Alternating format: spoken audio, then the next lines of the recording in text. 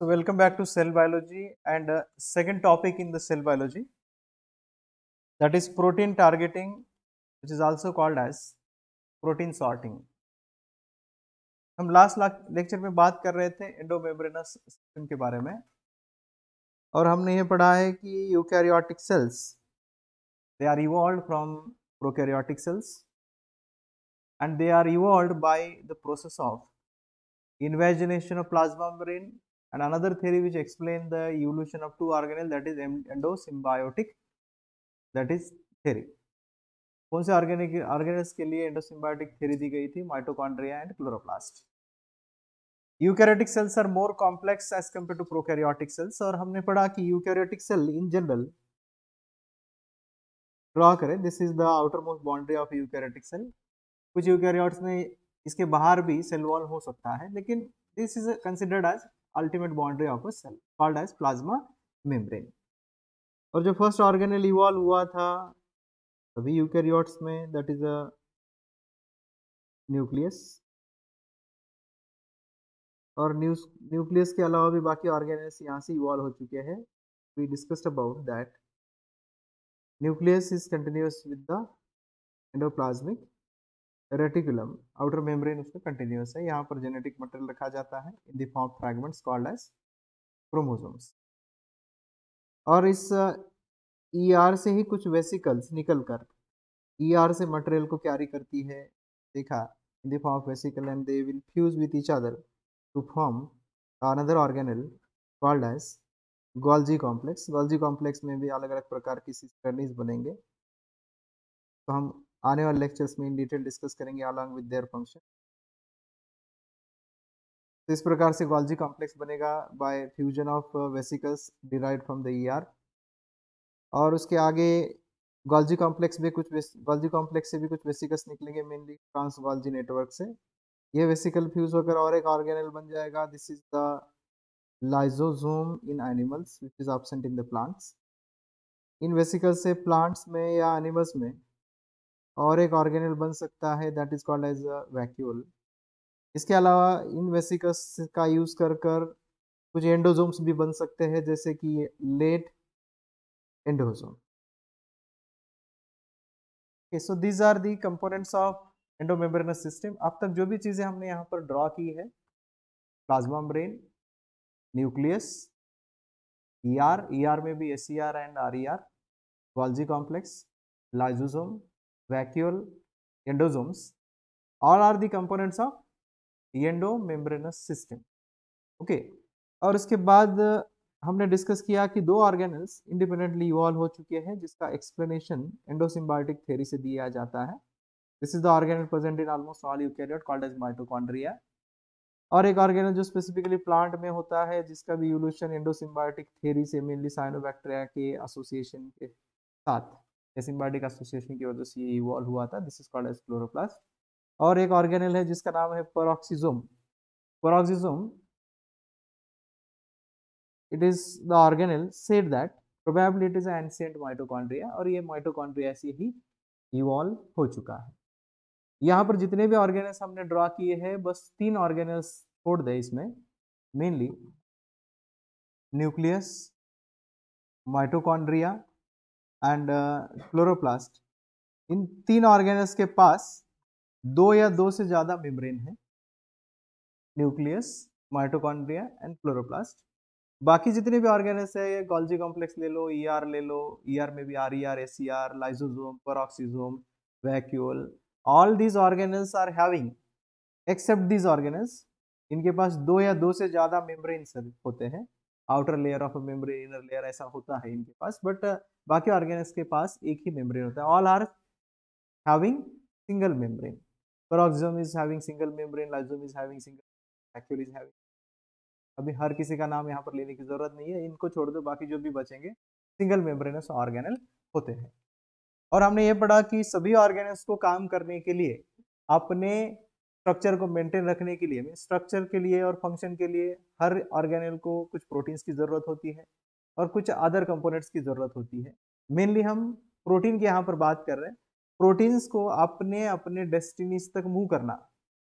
जैसे कोई माइटोकॉन्ड्रिया वाला प्रोटीन है माइटोकॉन्ड्रिया में पहुंचाना क्लोरोप्लास्ट वाला प्रोटीन क्लोरोप्लास्ट में पहुंचाना। तो this whole process of moving proteins up to their final destiny is called as protein targeting इसके बारे में हम कल बात कर रहे थे। What is protein targeting definition भी हमने लिखी थी। That is moving protein up to their final destiny moving proteins up to their final destiny destiny का मतलब क्या हो सकता है? It may be say outside the cell destiny क्या क्या हो सकती है? कोई प्रोटीन सेल के बाहर भी चला जा सकता है? या कोई प्रोटीन मेम्ब्रेन पर काम कर सकता है? प्लाज्मा मेम्ब्रेन पर. कोई प्रोटीन एंडोजोम के अंदर काम कर सकता है? तो एंडोजोम के मेम्ब्रेन पर काम कर सकता है. कोई प्रोटीन ग्वाल्जी के ल्यूमेन में काम कर सकता है या कोई प्रोटीन ग्वाल्जी मेम्ब्रेन पर काम कर सकता है एज इंटेग्रल मेम्ब्रेन और पेरिफेरल प्रोटीन कोई प्रोटीन लाइजोसोम के ल्यूमेन में काम करेगा या लाइजोसोम के मेम्ब्रेन पर काम करेगा। कोई प्रोटीन वैक्यूल या वैक्यूल के ल्यूमेन मेम्ब्रेन या वैक्यूल के ल्यूमेन में काम कर सकता है। Some proteins which work on ER membrane और they may work with in ER lumen. Peroxisome के मैट्रिक्स में कोई प्रोटीन काम कर सकता है तो इसके मेम्ब्रेन पर भी कुछ प्रोटीन्स हो सकते हैं। क्लोरोप्लास्ट के स्ट्रोमा में, क्लोरोप्लास्ट के थाइलाकेड के ल्यूमेन में थाइलाकेड के मेम्ब्रेन पर, आउटर मेम्ब्रेन पर और इनर मेम्ब्रेन पर क्लोरोप्लास्ट में प्रोटीन्स काम कर सकते हैं। माइटोकॉन्ड्रिया में भी इंटर मेम्ब्रेन स्पेस में कुछ प्रोटीन हो सकते हैं, आउटर मेम्ब्रेन पर प्रोटीन्स हो सकते हैं, इनर मेम्ब्रेन पर प्रोटीन्स हो सकते हैं, इवन मैट्रिक्स में भी कुछ प्रोटीन्स काम कर सकते हैं। And there are some proteins they may work with in a nucleus. तो इतनी सारी डेस्टिनीज है यहाँ तक हमें प्रोटीन पहुँचाने हैं। और हमने पढ़ा, इन जनरल प्रोटीन को टारगेट करने वाले दो पाथवेज होते हैं। इंट्रोडक्शन में हम पढ़ रहे थे। प्रोटीन टारगेटिंग के दो पाथवेज है। The first pathway is called as cytosolic path and second one is called as secretory pathway और हम ये पढ़ रहे थे कि साइटोसोलिक पाथ से प्रोटीन्स कहाँ कहाँ पर टारगेट होंगे। They either remain in the cytosol ज़्यादातर प्रोटीन साइटोसोल में ही रहेंगे। लेकिन कुछ प्रोटीन माइटोकॉन्ड्रिया के मेम्ब्रेन पर और माइटोकॉन्ड्रिया के मैट्रिक्स तक जाएँगे। दोनों माइटोकॉन्ड्रिया के मेम्ब्रेन वाले प्रोटीन्स और मैट्रिक्स वाले प्रोटीन्स और कुछ प्रोटीन्स क्लोरोप्लास्ट के टोमा तक थाइलाकड मेम्ब्रेन तक थाइलाकड के ल्यूमेन तक या इनर क्लोरोप्लास्ट मेम्ब्रेन और आउटर क्लोरोप्लास्ट मेम्ब्रेन तो क्लोरोप्लास्ट के सभी के सभी प्रोटीन्स कुछ प्रोटीन छोड़ा जाए जो खुद बनाते हैं। Most of the proteins, more than 90 percent proteins, they are encoded by the nucleus, like a mitochondria.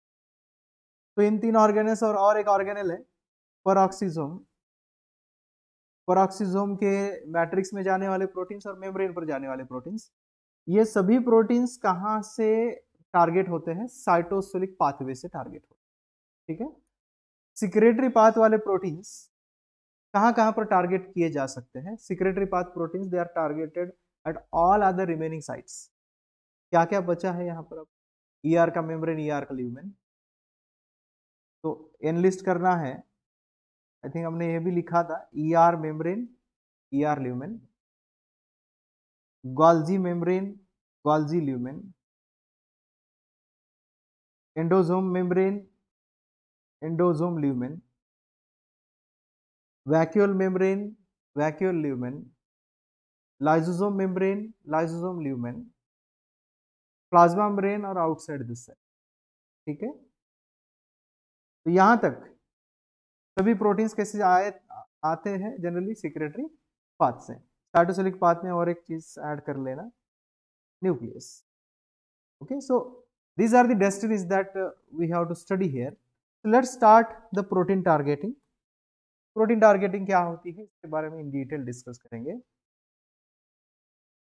Protein targeting means moving proteins up to their final destiny and uh, if we see the two cells prokaryotic cells and eukaryotic cells eukaryotic cells are more complex as compared to prokaryotic cells क्योंकि prokaryote में protein को जाना कहाँ होता है या तो cytosol में या प्लाज्मा ब्रेन पर या प्लाज्मा ब्रेन के बाहर तीन ही साइड से लेकिन यूकैरियोट्स में देखा जाए बहुत सारे डेस्टिनीज है जहाँ तक प्रोटीन्स को मूव करना है that's why we can say protein targeting in eukaryotes protein targeting in eukaryotes is more complex. Protein targeting in eukaryotes is more complex than prokaryotes. Prokaryotes के कंपेयर में प्रोटीन टारगेटिंग कैरियोट की ज़्यादा complex होती है कि बहुत सारे destination तक जाना है इन जनरल प्रोटीन टारगेटिंग में दो चीज़ें होना बहुत ज़रूरी होता है जैसे कोई लेटर आपको किसी पर्टिकुलर पर्सन को भेजना है तो उस पर दो चीज़ें होना चाहिए। एक, उस लेटर पर एड्रेस होना चाहिए उस पर्टिकुलर पर्सन का और उसको रिकॉग्नाइज करने वाला वो पर्सन भी चाहिए। तो हम ये भी पढ़ रहे थे कि हर प्रोटीन टारगेटिंग में दो चीज़ें कॉमन हैं। एक, दैट इज़ द एड्रेस और we can say it as a signal. इसको सिग्नल कहा जाएगा या एड्रेस कहा जाएगा। और दूसरी बात, उस एड्रेस को पहचानने वाला क्या होना चाहिए? रिसेप्टर होना चाहिए। तो specificity of targeting depends on these two entities इसमें से कोई भी एक एंटिटी गायब हो जाए तो कोई प्रोटीन अपने टारगेट तक रीच नहीं हो पाएगा। या तो टारगेट नहीं है, या एड्रेस नहीं है, या एड्रेस गलत है, या रिसेप्टार नहीं है। तो क्या हो सकता है? प्रोटीन गलत जगह पर जा सकता है या टारगेट नहीं हो पाएगा। ठीक है?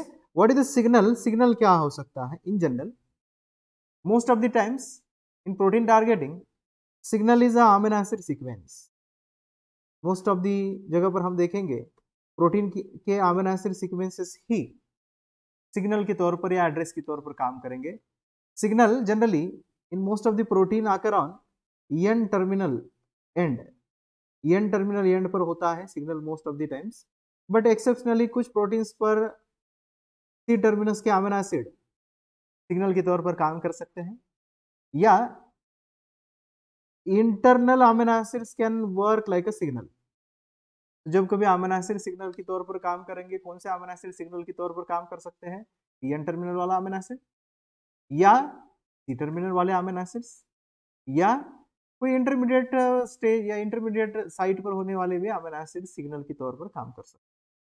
बट ऐसा भी नहीं है कि अमीनो एसिड ही सिग्नल के तौर पर काम करे, ये कोई मैंडेटरी चीज़ नहीं, कंपल्शन नहीं है, सिर्फ़ amino acid can work like a signal और एड्रेस हम आगे डिस्कस करेंगे देर आर सम सिग्नल्स और addresses they are created by post translational modification तो पोस्ट ट्रांसलेशनल मॉडिफिकेशन से भी कुछ सिग्नल्स बनाए जाते हैं।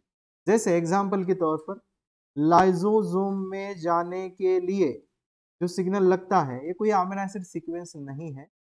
It is a mannose six phosphate it is a mannose six phosphate जो कि mannose six phosphate is not a component of protein initially while protein synthesis और इवन प्रोटीन सिंथेसिस के बाद भी मैनो सिक्स फॉस्फेट नहीं होता है। उसको पर्पजफुली ऐड किया जाता है, उसको बनाया जाता है as a part of a post translational modification तो सिग्नल क्या होते हैं? किसी ने पूछा प्रोटीन टारगेटिंग में एड्रेस क्या होता है? तो सिंपल जब इसका आंसर क्या रहेगा? मनासिर सीक्वेंस और एनी शुगर और any post translational modified component जैसे एग्जांपल के तौर पर mannose six phosphate receptors they may be soluble इनको रिकॉग्नाइज करने वाले रिसेप्टार सोलूबल हो सकते और most of the times they are present on the target membrane target organelle के मेम्ब्रेन पर होते हैं। ठीक है? तो इन दोनों के बारे में इतनी इंफॉर्मेशन इन जनरल हम इन दोनों पाथवे को डिस्कस करें। Protein targeting cytosolic path and secretory pathway will discuss both of this pathways in detail और डिटेल में हम इसके डिस्कस करने वाले हैं। जस्ट इनको यहाँ पर इंट्रोड्यूस कर रहे हैं कि सिक्रेटरी पाथ क्या होता है और साइटोसिलिक पाथ क्या होता है। तो यहाँ पर कोई एक ऑर्गेनल है जिसको हम न्यूक्लियस कहते हैं। This is the firstly discovered firstly formed organelle which carry the genetic material in it. और इसके इसके अक्रॉस ट्रांसपोर्ट करना है। तो इस प्रकार के फोर्स होते हैं। These are called as nuclear pores यहाँ पर जेनेटिक मटेरियल रखा गया है। This is in the form chromatin और कंडेंस फॉर्म होगा तो chromosome this is organelle called as nucleus किसी भी प्रोटीन को मोस्ट ऑफ़ द प्रोटीन्स को कोड किया जाता है यहाँ के जेनेटिक मटेरियल से. And fragment of genetic material which code the protein और any effector molecule called as a gene तो यहाँ पर कोई जीन है. जेनेटिक मटेरियल का कंपोनेंट एक फ्रैगमेंट है जिसका ट्रांसक्रिप्शन किया जा रहा है. ट्रांसक्रिप्शन होने के बाद यहाँ पर बन गया कोई एम आर ने एम आर ने क्यों हम कह रहे बाकी भी आर ने यहाँ पर बन सकते हैं, लेकिन हमें तो इंटरेस्ट है प्रोटीन में, और प्रोटीन बनाने का एक ही आर होता है messenger R A messenger R N A बना, उस पर प्रोसेसिंग की गई कंप्लीटली प्रोसेस्ड एम है। प्रोसेसिंग में भी हम आगे डिस्कस करेंगे थ्री इवेंट्स आते हैं। First one is capping second one is splicing and third one is a poly A tail addition addition called as polyadenylation ये तीनों चीज़ें कंप्लीट हुई है। एमआरएनए फुल्ली मैच्योर्ड है। अब एमआरएनए को एक्टिवली साइटोसोल में लाया जा रहा है। एक्टिवली क्यों कहा जा रहा है? अब लाइफ साइंस में हम कोई चीज़ एक्टिवली कह रहे हैं, इसका मतलब क्या है? अभी समझ में आना चाहिए, क्योंकि हमने थर्मोडाइनमिक्स ऑलरेडी डिस्कस किया है और दूसरी बात ट्रांसपोर्ट भी हमने डिस्कस किया है। एक्टिवली इसे ट्रांसपोर्ट किया जा रहा है इनटू द साइटोसोल इसका मतलब इसे बाहर लाने के लिए कुछ ना कुछ एनर्जी लगेगी, अपने आप नहीं आएगा। ठीक है? तो एक्टिवली एमआरएनए को बाहर लाया गया। Now mRNA get associate with the ribosome subunits पहले तो स्मॉल सबनेट और उसके बाद लार्ज सबनेट आकर यहाँ पर बाइंड हो जाएगा। राइबोसोम पूरी तरह से एमआरएनए के साथ एसोसिएट हो जाएगा and it lead to the start of translation translation start हो रहा है। अब तक कोई प्रोटीन बना नहीं है, प्रोटीन बनना स्टार्ट हो रहा है। Now the protein synthesis starts और प्रोटीन का कौन सा एंड पहले बाहर निकल कर आता है? एन टर्मिनस जो हम पहले भी डिस्कस कर रहे थे प्रोटीन के टॉपिक में। N terminus is the first end which is synthesize during the protein synthesis N terminus बाहर निकल कर आया। अब जो प्रोटीन पूरा बना नहीं है लेकिन बन रहा है तो हम इसे कहेंगे नेसेंट प्रोटीन पूरा बन जाता तो हम उसको सिंपली प्रोटीन कहते हैं, लेकिन अभी तक ये पूरा बना नहीं है। It is a nascent protein you are nascent person क्योंकि अब तक आप पूरे तरह से नहीं बने हो। Okay nascent person nascent means अभी अभी जिसने स्टार्ट किया है। With respect to preparation of exam हम इसको बात कर रहे हैं। तो basically it is a nascent protein nascent protein के पास कुछ ना कुछ सिग्नल होता है, जो डिसाइड करता है कि आगे चलकर ये प्रोटीन कहाँ टारगेट होगा। जो हम आगे डिस्कस करेंगे। हम पहले बात कर रहे हैं साइटोसिलिक पाथ की। तो साइटोसिलिक पाथ में क्या होता है? Protein synthesis begins in the cytosol and protein get completely synthesize in the cytosol पूरी तरह से प्रोटीन बन जाता है और पूरी तरह से बनकर ये बाहर रिलीज़ भी हो जाता है साइटोसोल में। दिस इज़ अ साइटोसोल यहाँ पर रिलीज़ हुआ। उसके बाद इसको फोल्ड भी किया जा सकता है। This is three dimensionally folded and many times this protein directly work directly carry out its effect और function in the cytosol itself कहीं जाना नहीं है क्योंकि इसके पास कोई एड्रेस नहीं है। किसी भी प्रकार का एड्रेस नहीं है इसके पास। तो कहाँ रखा गया फिर इस प्रोटीन को? साइटोसोल लेकिन हमने देखा इस पर एड्रेस है न्यूक्लियस में जाने का। It is having a nuclear localization signal इस प्रोटीन की फोल्डिंग हो चुकी है। और प्रोटीन पर क्या दिखाई दे रहा है? न्यूक्लियर लोकलाइजेशन सिग्नल दिखाई दे रहा है। मीन्स किसके लिए एड्रेस है? न्यूक्लियस वाला एड्रेस है। तो कोई प्रोटीन आएगा और इनको पिकअप करेगा और हम आगे डिस्कस करेंगे there is called as importin protein importin आ रहा है, इस न्यूक्लियर लोकलाइजेशन सिग्नल को रिकॉग्नाइज कर रहा है और उसको न्यूक्लियस में लेकर जा रहा है। In a three dimensionally folded form तो अब ये प्रोटीन कहाँ जा रहा है? न्यूक्लियस में जा रहा है, काम करने के लिए। तो यहाँ से protein three dimensionally folded form में कहाँ चला गया? काम करने के लिए nucleus this is one of the destiny which can be targeted by using cytosolic pathway. Okay. अब कोई सिग्नल है जो कि न्यूक्लियस के लिए नहीं है, लेकिन माइटोकॉन्ड्रिया के लिए है। Now it is having a mitochondria specific signal के पास माइटोकॉन्ड्रिया के लिए सिग्नल है तो अब ये कहाँ जाएगा? माइटोकॉन्ड्रिया में जाएगा, लेकिन माइटोकॉन्ड्रिया में फोल्डेड स्टेट में नहीं जाया जा सकता है तो इसे वापस अनफोल्ड किया जाएगा। By using some chaperones it will be unfolded और अनफोल्ड कर कर माइटोकॉन्ड्रिया के अलग अलग जगहों पर इसे टारगेट किया जा सकता है। It may be targeted in to the matrix ये प्रोटीन आगे चलकर मैट्रिक्स में टारगेट किया जा सकता है या माइटोकॉन्ड्रिया के इनर मेम्ब्रेन पर टारगेट किया जा सकता है या आउटर मेम्ब्रेन पर। तो साइटोसेलिक पाथ से प्रोटीन और कौन सी जगह पर जा सकता है? बट इन अनफोल्डेड स्टेट कहाँ कहाँ पर जा सकता है? Outer membrane of mitochondria inner membrane of mitochondria intermembrane space में भी जाएगा और मैट्रिक्स में भी जा सकता ये कब की बात है? जब इसके पास कौन सा सिग्नल हो? एड्रेस हो? माइटोकॉन्ड्रिया का एड्रेस एड्रेस हो। इसके पास क्लोरोप्लास्ट का एड्रेस रहता तो क्या हो जाता वापस अनफोल्डेड प्रोटीन बन जाता। माइटोकॉन्ड्रिया में जो दाने, ट्रांसपोर्ट करने के लिए जो पाथवे है, same pathway cytosol, sorry, chloroplast में जाने के लिए है, जस्ट प्रोटीन के नाम अलग अलग रहेंगे, पाथवे सिमिलर होगा। तो वापस क्लोरोप्लास्ट में जाने के लिए भी क्या करना पड़ेगा? प्रोटीन अनफोल्ड करना पड़ेगा। ये कोई क्लोरोप्लास्ट का हाइलाकॉइड रीजन है। क्लोरोप्लास्ट में भी कहाँ कहाँ पर ये प्रोटीन अनफोल्डेड स्टेट में ट्रांसपोर्ट किया जा सकता है? On outer membrane on inner membrane of chloroplast on thylakoid membrane in stroma और इन द थाइलाकॉइड ल्यूमेन इन सभी जगहों पर जो भी प्रोटीन जाने वाला है न्यूक्लियर इनकोडेड जीन वह अगेन अनफोल्डेड स्टेट में जाएगा। ठीक है? लेकिन इसके पास हमने देखा सिग्नल परोक्सीजोम के लिए है, जिसको परोक्सिमल टारगेटिंग सीक्वेंस कहा जाता है, जो जनरली एस होता है C terminus S K L stand for serine lysine leucine तो इस प्रकार का कोई सीक्वेंस है जो कि कई के लिए है?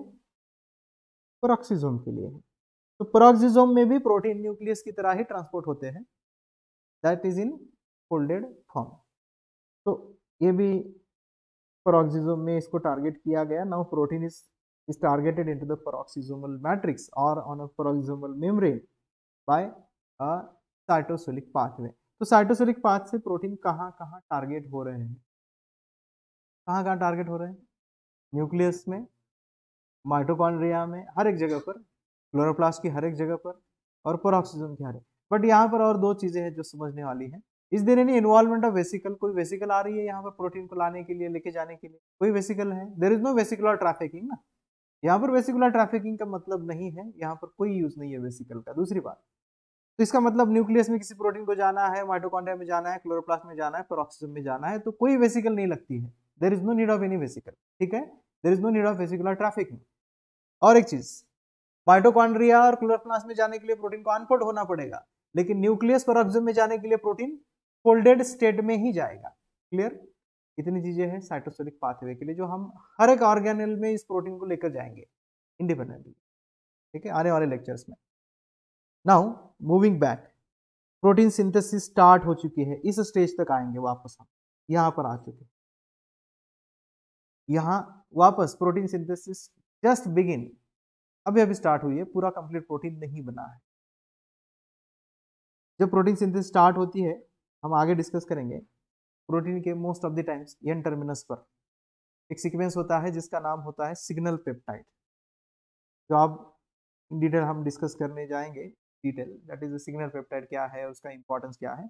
This is called a signal peptide cytosolic pathway में कोई सिग्नल पेप्टाइड वगैरह नहीं था। लेकिन सिक्रेटरी पाथवे के लिए प्रोटीन में क्या होना ज़रूरी है? सिग्नल पेप्टाइड होना ज़रूरी है। This is the must thing important thing अब protein synthesis most of the protein के लिए यहाँ कंप्लीट होगी नहीं। जो प्रोटीन बन रहा है, वो नेसेंट प्रोटीन है, वह डिसाइड करेगा राइबोसोम आगे चलकर काम कहाँ करेगा। स्टार्ट तो कहाँ हो रही है प्रोटीन सिंथेसिस साइटोसोल में। लेकिन ये प्रोटीन सिंथेसिस अल्टीमेटली यहाँ पर ही होगी कंप्लीट होगी, या आगे चलकर ई e पर जाकर प्रोटीन सिंथेसिस कंटिन्यू होगी। ये डिसाइड करेगा प्रेजेंस ऑफ़ सिग्नल पेप्टाइड या एसोसिएटेड नेसेंट प्रोटीन तो सिग्नल पेप्टाइड होने के बाद क्या होता है? ये प्रोटीन अब यहाँ पर नहीं बनेगा। Actually protein synthesis start started in the cytosol अब प्रोटीन को कोई प्रोटीन आएगा ईआर e या राइबोसोम इस नेसेंट प्रोटीन और एमआरएनए को, इनको अपने साथ लेकर जाएगा और प्रोटीन सिंथेसिस कंटिन्यू होगी कहाँ पर? हम डिस्कस करेंगे। Protein synthesis continue on the E ER और जब प्रोटीन बनेगा, या तो ये प्रोटीन बनकर ईआर e में जाएगा ल्यूमेन में या प्रोटीन ईआर e के मेम्ब्रेन का हिस्सा बनेगा। ठीक है? तो ऐसा प्रोटीन जो ईआर e के मेम्ब्रेन पर आ रहा है या ईआर e के ल्यूमेन में जा रहा है एटलीस्ट एक बार तो उसे हम कहते हैं सिक्रेटरी पाथ प्रोटीन सिक्रेटरी का मतलब दिमाग में ऐसा कभी आना नहीं चाहिए कि सिक्रेटरी का मतलब सेल के बाहर सिक्रेट आउट होने वाला protein it is not compulsory secretory path protein का मतलब क्या है? नाम से तो हम यही समझ सकते हैं ना कि प्रोटीन ऐसा जो सीक्रेट आउट हो जाए। ऐसा नहीं है एक्चुअली ऐसा प्रोटीन जो ई e में आए। आ रहा है यहाँ पर। अब यहाँ से सिक्रेटरी पाथवे स्टार्ट होगा। कोई भी प्रोटीन ई e में आएगा तो वो किस पाथवे का पार्ट बन सकता है? सिक्रेटरी पाथ प्रोटीन का हिस्सा बन सकता है। Now this protein undergo folding and it will lead to the formation of three dimensional structure. इस पर बहुत सारे मॉडिफिकेशन भी किए जाएँगे। और यहाँ पे प्रोटीन को पैक किया जाएगा किसी वेसिकल में। अब आ रहा है वेसिकुलर ट्रैफिकिंग, जो कि साइटोसेलिक पाथवे में नहीं था। ओके? यहाँ से कोई वेसिकल निकली, ये वेसिकल प्रोटीन ल्यूमेन वाला हो या प्रोटीन मेम्ब्रेन वाला हो, फोल्ड होकर इन वेसिकल्स पर लोड किया जाता है। Now protein is in the form of vesicle moving to the Golgi complex. ये वेसिकल आएगी इस प्रोटीन को लेकर मेम्ब्रेन वाला प्रोटीन रहेगा तो आप ये कौन से पार्ट का हिस्सा बन रहा है? गोल्जी के मेम्ब्रेन का। या ल्यूमेन वाला होगा तो ये गोल्जी ल्यूमेन में जाएगा। उसके बाद अल्टीमेटली प्रोटीन में यहाँ पर भी कुछ मॉडिफिकेशंस किए जाएँगे। और अल्टीमेटली प्रोटीन आएगा, गोल्जी और ट्रांस गोल्जी नेटवर्क में आएगा टीजीएन में आएगा।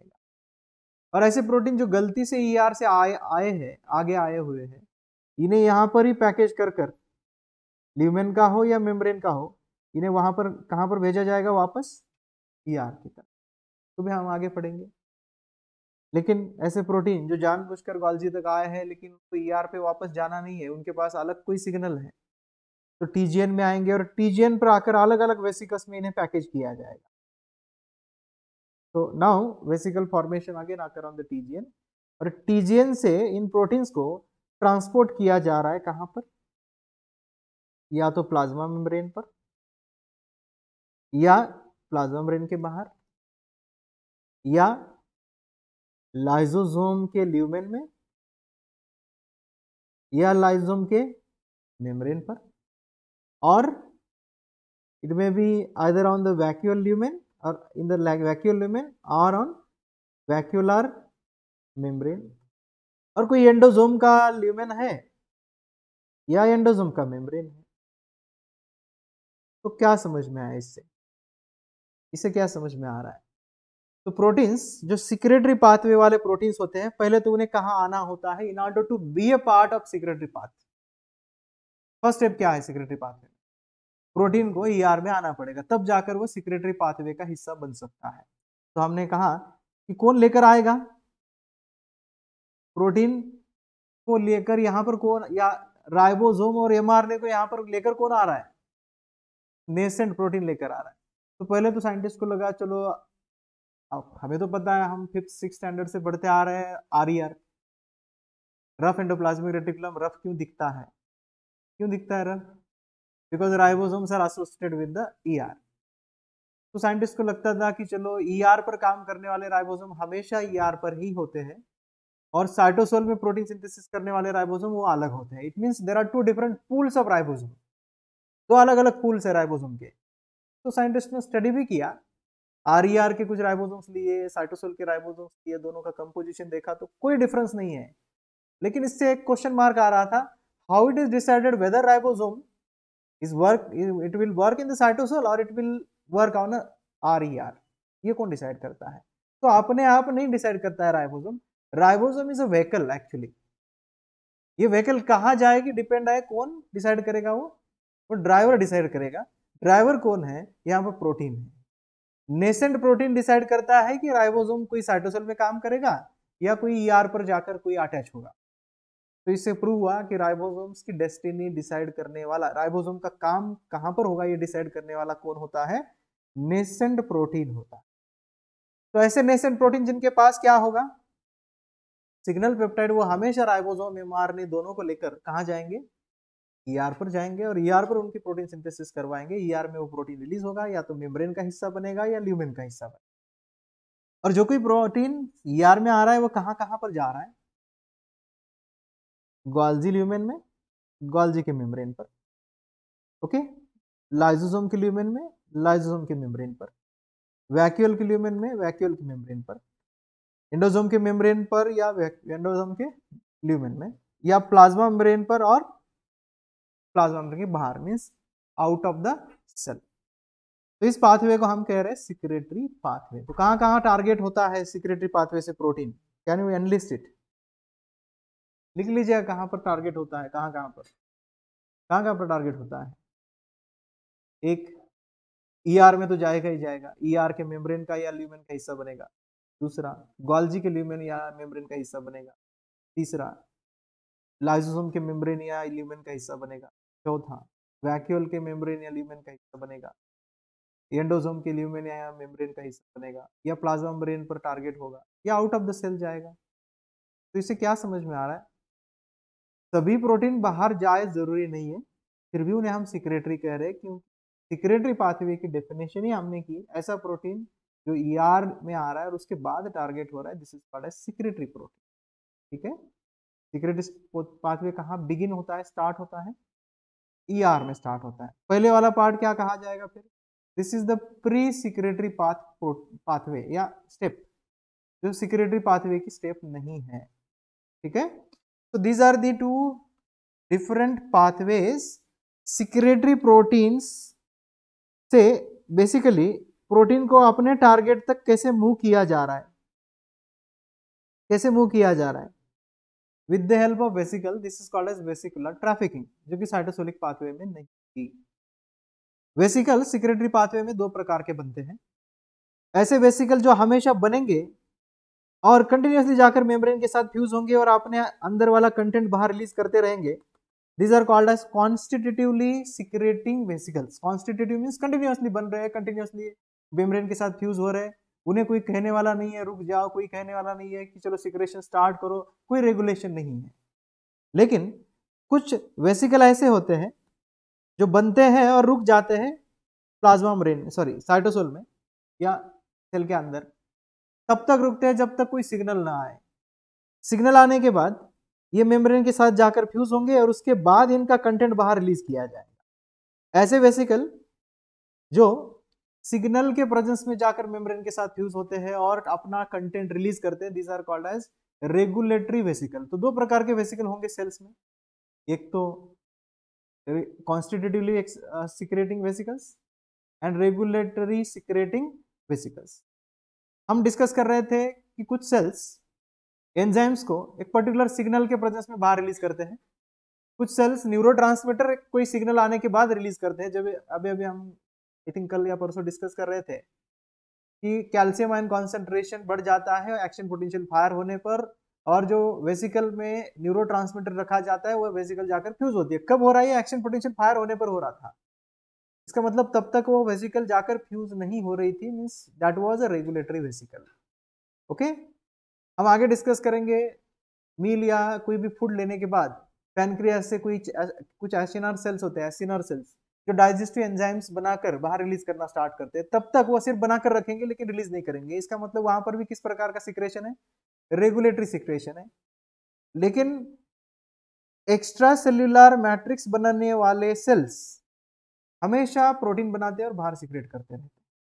कुछ सिक्रेशंस कॉन्स्टिट्यूटिव होते हैं, कुछ सिक्रेशंस रेगुलेटरी होते हैं। तो this is just an introduction now moving to how to study the secretory pathway in detail.